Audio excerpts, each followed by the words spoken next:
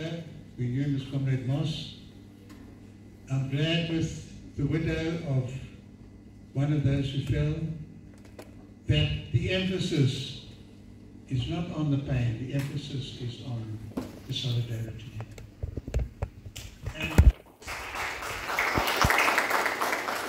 it's beautiful to read the responses of our President, Oliver Tambo, and your President, Samora Machel. The language is so clear, it's so passionate, it's so strong. And it uses this occasion to deal with something very profound, even ancient. It's the solidarity of peoples over centuries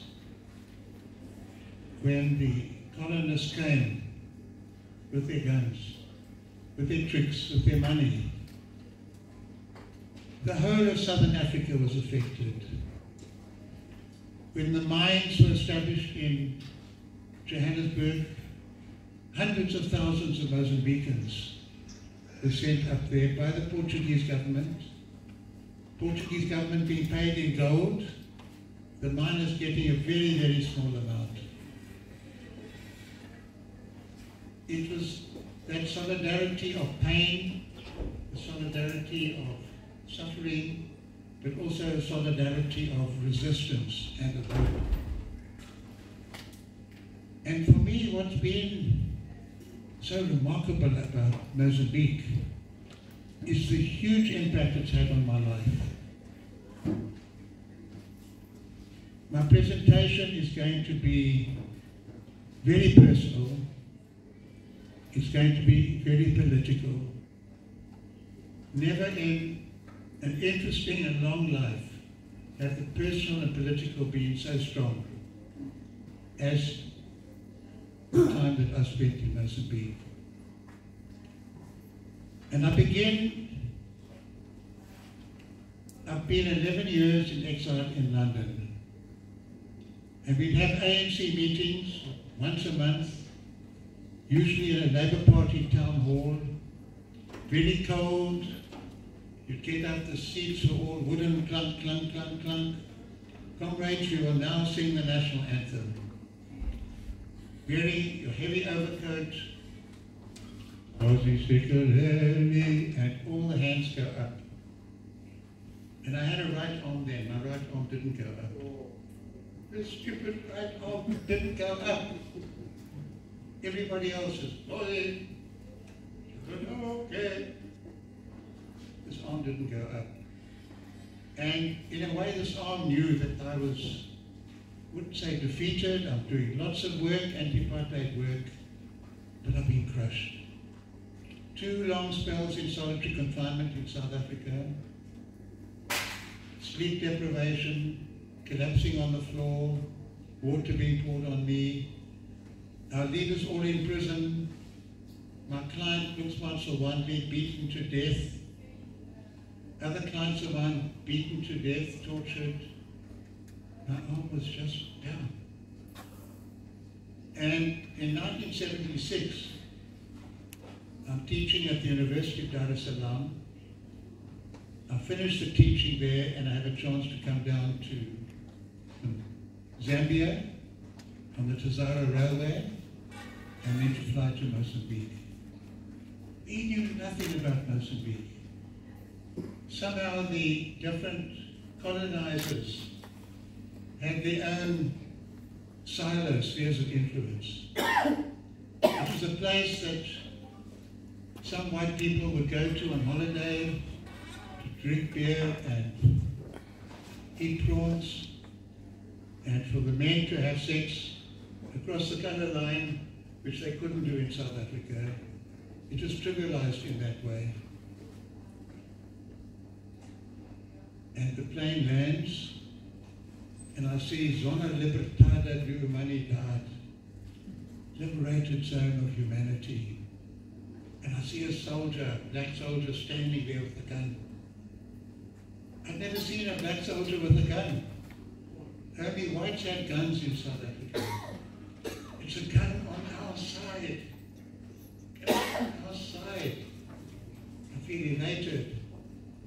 two days later, I'm invited to Machava Football Stadium. It's the day of the launching of the armed struggle. There's 60,000 people there. My friends say, there's Samora, there's Samora. Uh, and I look across and I see he looks like a little man.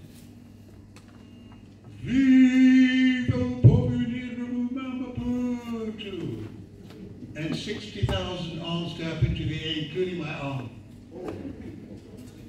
I got my courage back in Mozambique. Viva Mozambique, viva!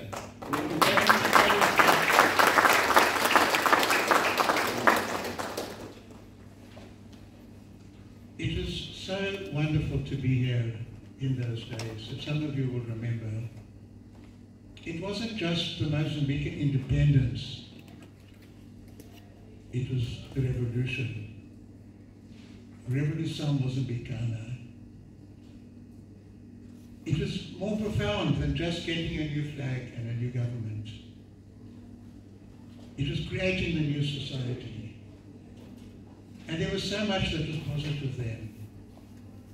And you would hear stories about Samora's wisdom and the struggle inside Frelimo and how the reactionaries wanted to execute and capture Portuguese soldiers, and the progressives under Samora said no. These are children of peasants in Portugal. We will treat them with dignity, and they will become our best ambassadors, because they will go back and they will explain to Portuguese people who we really are. And we heard the other story of Josina Machel wanted to bear arms. She wanted to fight. And some of the men reacted said, no. In our culture, in our tradition, men do the fighting and women support the men. Better arguments over that. And she won that battle. And then the question of who is the enemy. With the reactionaries saying the enemy is anyone who is not of black, indigenous, African origin, which would have included a number of the leaders of Frelimo. And Samora and the others saying, the enemy is not a race, the enemy is a system of oppression. And that's important because we fight that system. We don't go as for targets for people who happen to have a different origin to us. But it's also important for when the change comes. Because when the change comes, we want to change the system. And you know, Victor, a very amusing thing for me when I'm studying Portuguese in the special training they have for cooperantes. And the books in Portugal would say, can you show me where the bank is? Uh, can you point me to the railway station? And the texts I'm reading are all about escangalhar o aparelho do Estado. Long fancy words in Portuguese, but connected with, connected with destroying apparatus of state. You can't take the colonial state and just put black people in charge because it will still be in a oppressive state. And Samora saying some people don't mind being eaten by a local lion as long as they're not eaten by a foreign tiger. and it's wonderful to be in that ambience and to feel the energy and the solidarity and the unity. To feel what is called people's power. And we would be saying, power to the people. What power do people need? And it seems this is what power to the people means. There is a tremendous emphasis on culture. Uh, culture that had been lost of all the people in the rural areas with their homemade instruments and their dancing forms and their songs and wonderful festivals. We would go day after day, night after night to hear this marvelous music and dance. Uh, I'm, I'm a very patriotic, uh, I'd say even a South African chauvinist when it comes to bragging about our singers, that we have the greatest singers in the world. Choral singing, popular singing. But you Mozambicans have the greatest dancers in the world. It was just amazing to see the Festival of Dance that the people had retained right through the colonial eras. And to meet artists like Malangatana, Chissano, and others producing the, the energy, the vitality, the creativity. It was wonderful to be at Universidade Eduardo Mondlane every July. And in the Portuguese, July, the colonists would go back to Portugal for a long summer holiday. Summer in Europe, not, not summer here. now, the university is saying, we don't go on holiday to Portugal, we study our own country. And we have activities to Zulu, July activities. And it would be everybody. I'm not sure if the rector actually went, but the professors went, and the students went, and security people went, and the technicians went, as a community, to get to know your own country. It was wonderful to be in that ambulance. And then we'd hear stories like Samora Machel's father comes to him. I'm not sure how his father addressed him. I don't think he comrade president, comrade my son, or just Samora, whatever it was.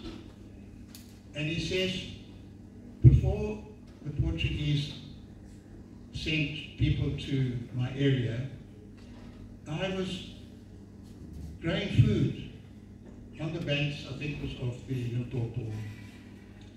Now they've left, they've gone back to Portugal.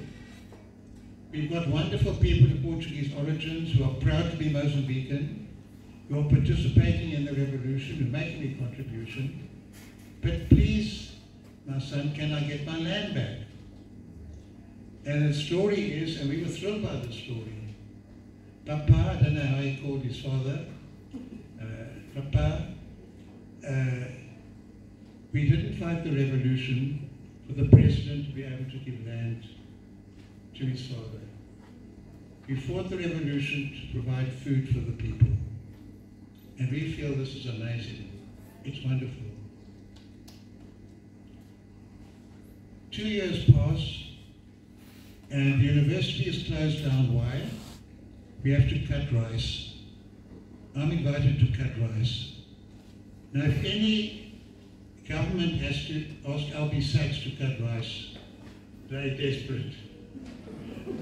Even when I had two arms, I wasn't a good rice cutter. But what had happened was that whole area had been made into a huge state farm. Enormous investment. I think Bulgarians were in charge. They put in too much fertilizer. The rice was very disobedient. It grew, grew, grew. We had to go and cut it.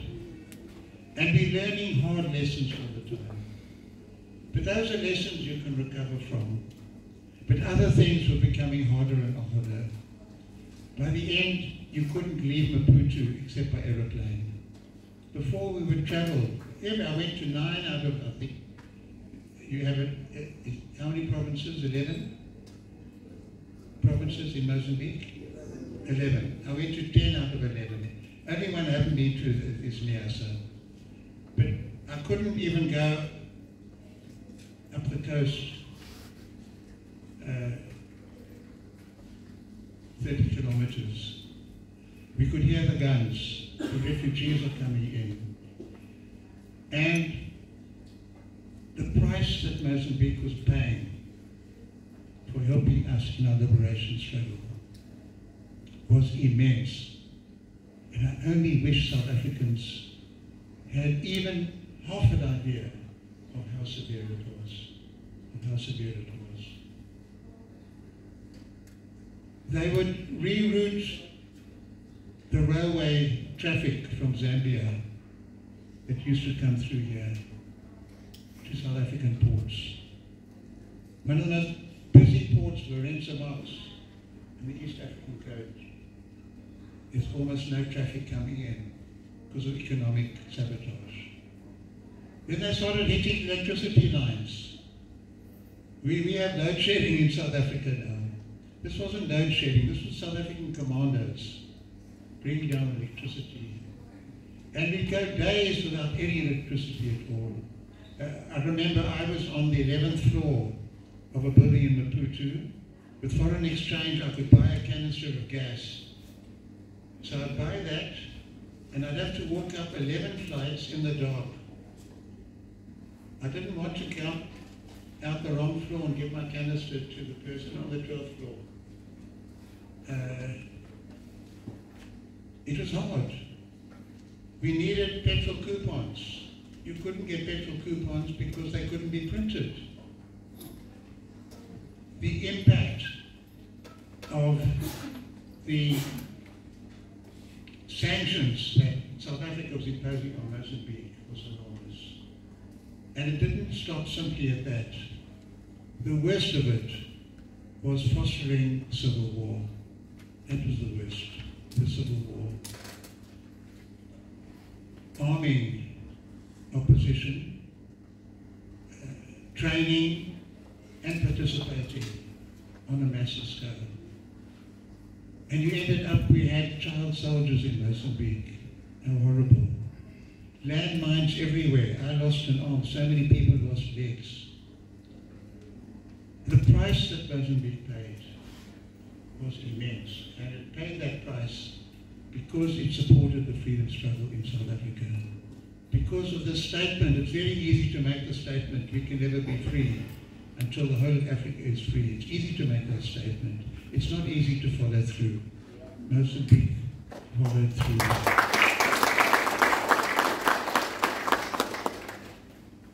It even affected me. I said this is going to be very personal. I'm in my apartment, this is just on the third floor, different apartment, and a friend of mine is at the door. Her face is bleak, and she says, can you come to Fatima's house? Now, Fatima was a professor of literature at University of Guatemala, and it's no secret, I was infatuated with her for a long time. And she dumped me. There was someone else, I didn't know who it was. I discovered who it was. Somebody you would have known. It was an MK comrade, Comrade Chris, and she was sheltering Comrade Chris. Her dog was killed. She was in personal danger. She, like so many other Mozambicans, hid our people in their homes, risking their lives. And I was asked now to come and try and console Fatima. And I went to the house. She was under sedation. She was lying on the bed. And I lay down next to her. And she screamed and screamed and scratched me. And she said, why did it have to be Chris? Why couldn't it be you? And I understood what she was saying. I understood what she was saying. I gave her what comfort I could. And she adored Chris. And she actually made an interesting comment. She said MK has the best and the worst. There's nothing in between. And I thought she was exaggerating, but I think subsequent events have uh, validated her, her opinion then. And there were many Mozambicans who helped us quietly, quietly, risking so much for our freedom, even when things were hard in this country. Is April the 7th still the Dia de Mulher Mozambicana? Is it still the Day of Mozambican Women? Yes. It wasn't changed with the new constitution. Uh, Viva.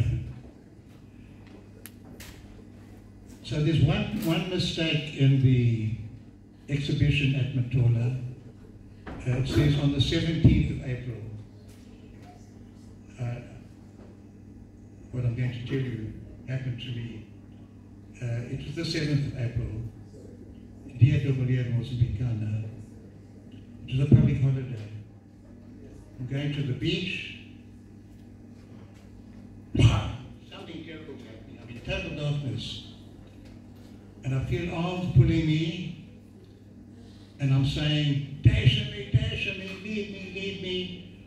I'm a lawyer in a public place. I mustn't shout too loud.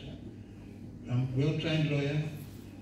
Uh, and then I feel I'm in a car and I feel if the regime is kidnapping me, can't I have a car with better springs because it's hurting. And then total darkness.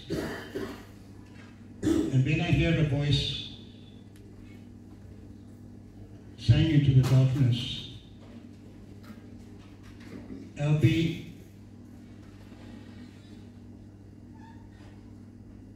Ivo Garrido, que fala contigo, Albie, it's Ivo Garrido speaking to you. No Hospital Central de Moçambique, the Mozambique Central Hospital. Your arm is in an lamentable condition. You must face the future with courage. And I say what happened, and the woman's voice answers, it was a car bomb. I faint back into the darkness, but with joy. I know I'm in the hands of freedom of, the Mozambican government. I haven't been kidnapped. And I had a total conviction that I would get better, and as I got better, my country would get better.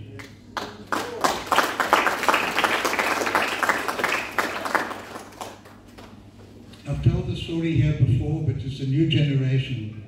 So I'll tell the story again about the next morning.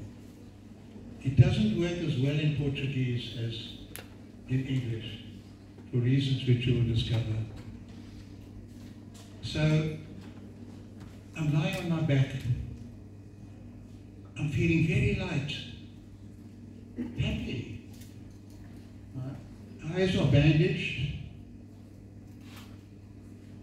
and I'm thinking now, what is my condition? And I tell myself a joke.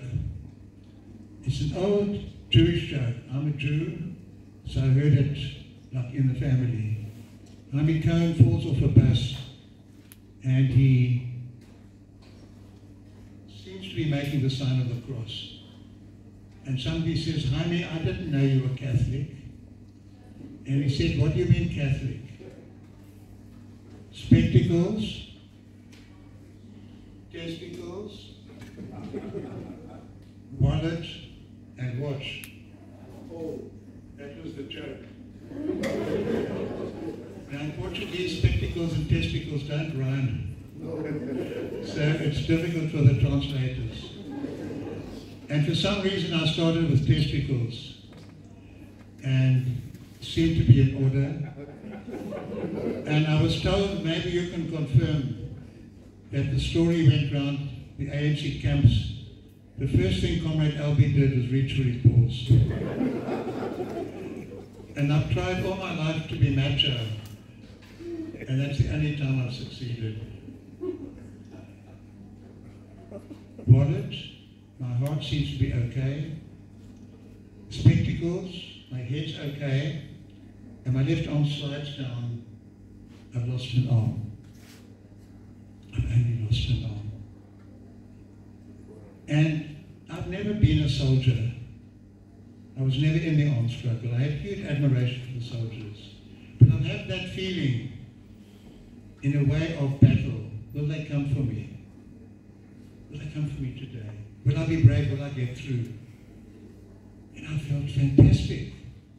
They'd come for me me, they tried to kill me, and they'd only taken off an arm. And in a very strange way, that episode blew away all the unhappiness that I brought into exile with me. It blew away the sadness. And that was now 7th of April 1988. And I'm still happy today.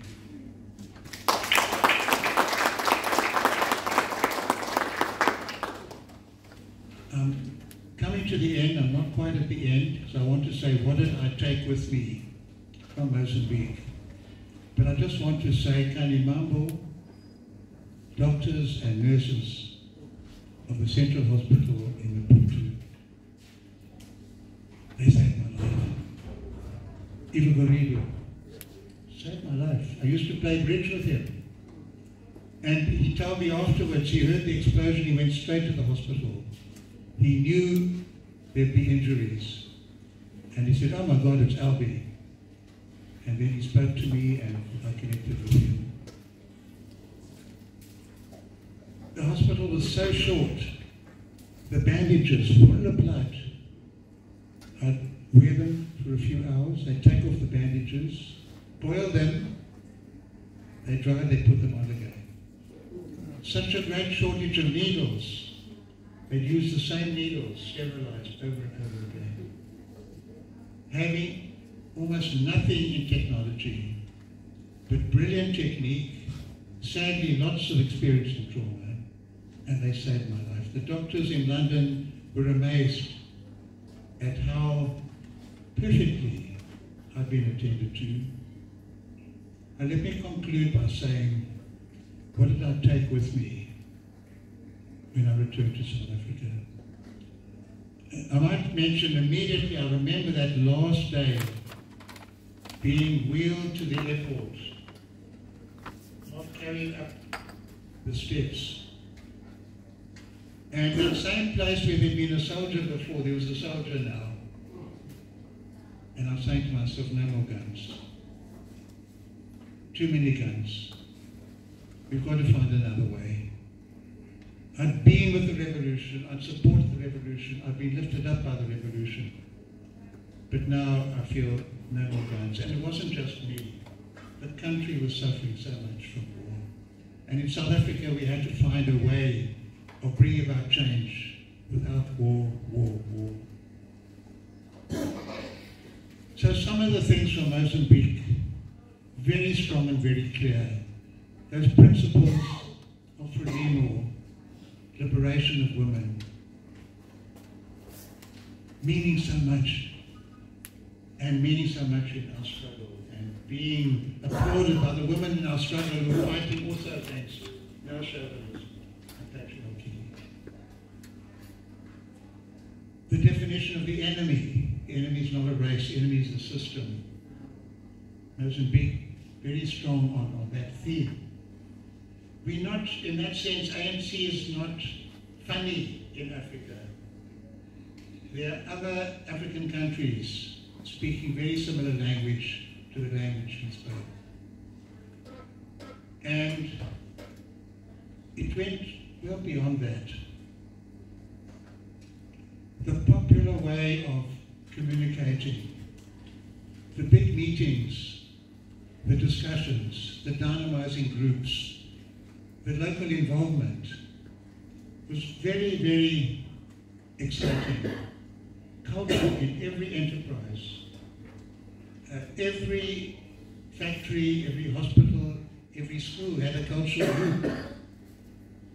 People would sing, they would dance, they would give you a play. I've always grown. In South Africa, it was 300 years of racism. In Mozambique, it was 500 years. And you've only got half an hour to for the play. But they would skip through a few centuries. But very, very moving, the importance of culture. And that's represented now in our constitutional court.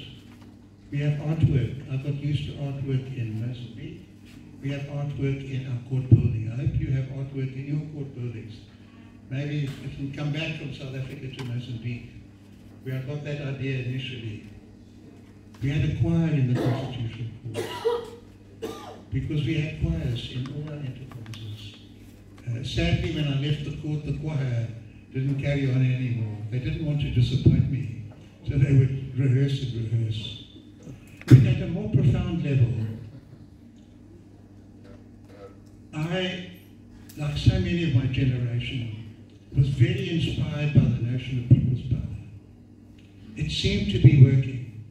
It united all the progressive forces. It overcame racism and tribalism and regionalism. It had a terrific energy and was based on the poor and the workers in the towns and the peasantry. It, it had a strong moral component as well. It was transformatory. And it seemed to be the way to go.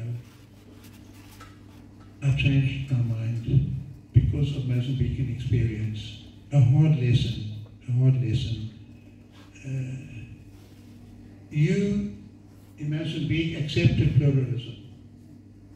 After long years of battling multi-party system, it was complicated.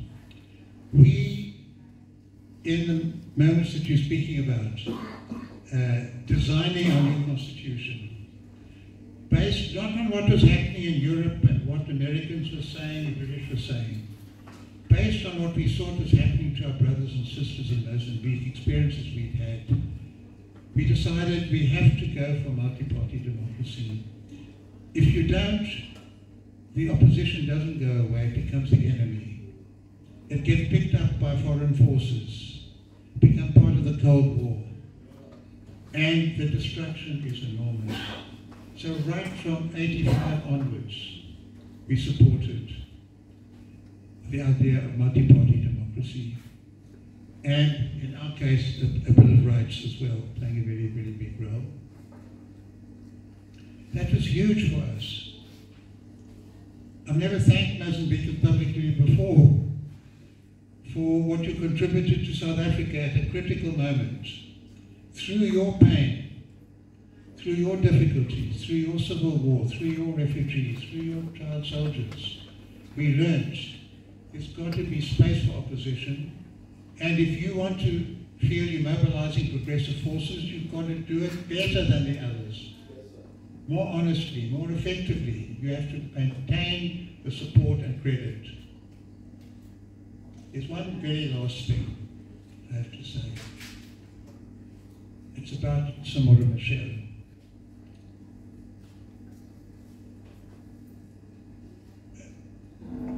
Rob Davies, uh, Alpheus Manghezi, and myself were allowed to stay on after the Nkomati Accord because of our connections with the University of Guatemala.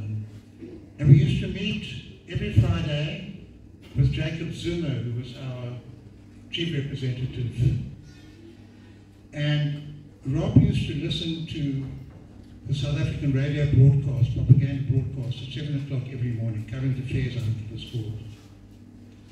And on the one Friday, he says, comrades,